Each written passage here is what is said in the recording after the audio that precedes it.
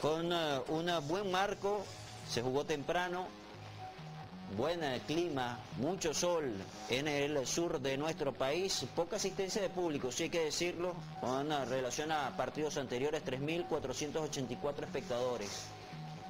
Y sería el equipo del Portuguesa que iba a picar adelante en el marcador, vean este golazo, al ángulo. ¿Quién fue el autor? Herlin Cuica a los 13 minutos ponía en ventaja al equipo visitante. Qué golazo de tiro libre. Pero sería uno de los buenos goles que se observarían en este partido, que en total hubo 6. Recuerden, 4-2 ganó Mineros de Guayana. Iba a seguir intentando el equipo de Mineros y lograría el empate por intermedio del Lobo Guerra, minuto 22. Este balón suelto, el rebote en el área, le pega de pierna izquierda como viene. Y gol. Vean este otro buen golazo también. Pelota parada. Diomar Díaz. Al minuto 39 volteaba el marcador. Mineros había arrancado perdiendo y ahora estaba ganando 2 a 1. Este es el jugador que pertenece ahora al Cosmos de Nueva York. Jugará la temporada que viene allí con Giovanni Savares. Se arrancaba el segundo tiempo con la victoria parcial. Mineros iba a seguir en búsqueda de ampliar la pizarra y lo iba a lograr por intermedio de Richard Blanco, el avioncito. Aquí avisaba, como es habitual, siempre remates de media distancia, cruzados. Esa es la manera por la cual Richard Blanco convierte generalmente los goles y está en un gran momento el eh, guaireño Richard Blanco. Acá controla la pelota con el pecho, otra de las buenas jugadas de peligro para Mineros de Guayana, pero bien cerrada atrás la defensa del portuguesa. Tendría que esperar entonces hasta el minuto 71.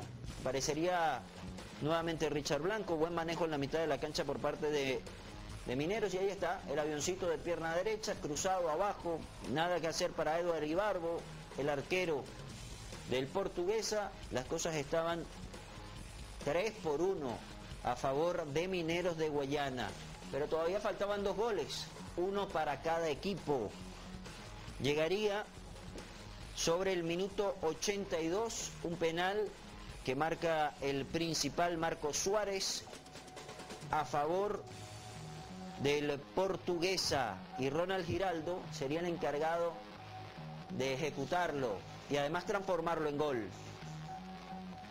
El partido estaba cerrado, 3 por 2, y Portuguesa creía que podía ganarlo pero llegaría ya sobre el final del partido, minuto 92, el colombiano Oscar Riseño, este remate cruzado y el balón al fondo de la red para determinar el 4-2 definitivo.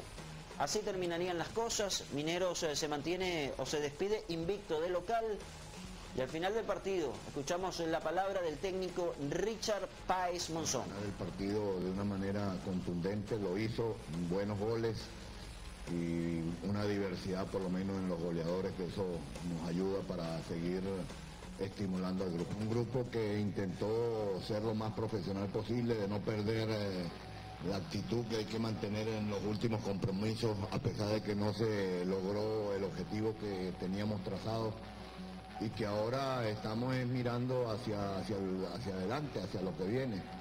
Eh, qué resultados los que se dieron en la jornada de hoy cuando los equipos están todos con necesidades. Cuando hay necesidad el fútbol cambia y eso quisiéramos ver siempre ese estilo, esa manera de jugar como se jugaron estos partidos. En a lo de los juveniles y los próximos jugadores, estamos en esa idea, ya estamos eh, planteando un proceso de, de muy buena escogencia para ese grupo. Incluso estamos pensando en un tryout para esa categoría en el estado Bolívar. Queremos tener aquí la oportunidad de ver, el técnico de Minero quiere ver a los mejores jugadores que hay en el Estado Bolívar eh, en esta categoría que corresponde para el próximo torneo. Será 95, 96, 97, porque estamos hablando también del jugador de, de la Copa Venezuela que va a ser año 97.